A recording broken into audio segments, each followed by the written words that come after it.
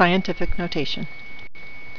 Scientific notation is a system of working with numbers that's supposed to make it easier to work with numbers that are very large or very small. Any number can be converted into scientific notation after first being converted into a decimal. To convert a decimal into scientific notation, the decimal point is moved until it is just right of the first numeral. The number of spaces the decimal point moves to the left becomes the exponent. For example, to convert the number 1200 into scientific notation, you move the decimal point 1, 2, 3 spaces to the left, and you state the number as 1.2 times 10 to the third. Let's practice converting some numbers into scientific notation. To convert the number 140,000, you move the decimal point 1, 2, 3, 4, 5 spaces to the left. Therefore, the number becomes 1.4 times 10 to the fifth.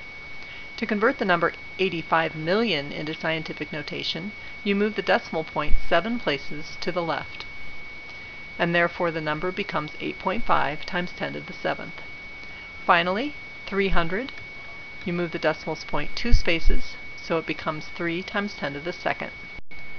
Scientific notation also works for numbers that are less than 1.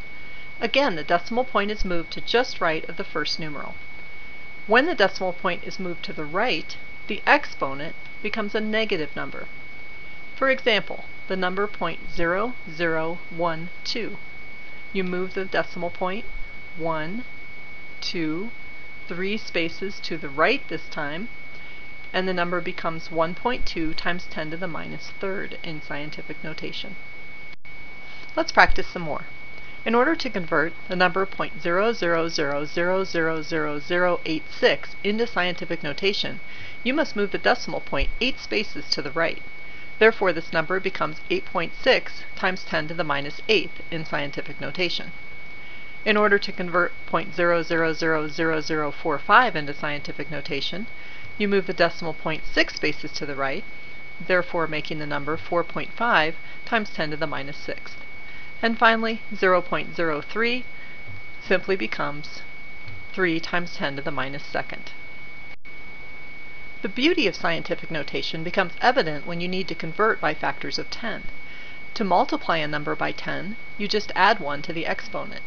Similarly, to divide a number by 10, you subtract 1 from the exponent. Remember that the number 1200 is 1.2 times 10 to the third. To multiply it by 10 to make 12,000, you add 1 to the exponent and get 1.2 times 10 to the fourth. If you divide 1200 by 10 to get 120, the number becomes 1.2 times 10 to the second. Let's finish up with some more practice problems. To multiply 1 times 10 to the fourth times 10, you simply need to add 1 to the exponent to get 1 times 10 to the fifth. To divide 4.3 times 10 to the third by 10, to divide by 10 you subtract 1 from the exponent. 4.3 times 10 to the second. 6 times 10 to the eighth times 100, since this is two tens, you want to add 2 to the exponent, and this becomes 6 times 10 to the tenth. 3 times 10 to the minus third times 10, remember that you want to add 1 to the exponent. 3, minus 3 plus 1 is minus 2, so 3 times 10 to the minus 2. And finally, 7.4 times 10 to the minus fifth divided by 100. To divide by two tens, you want to subtract 2 from the exponent, and that gives you 7.4 times 10 to the minus 7th.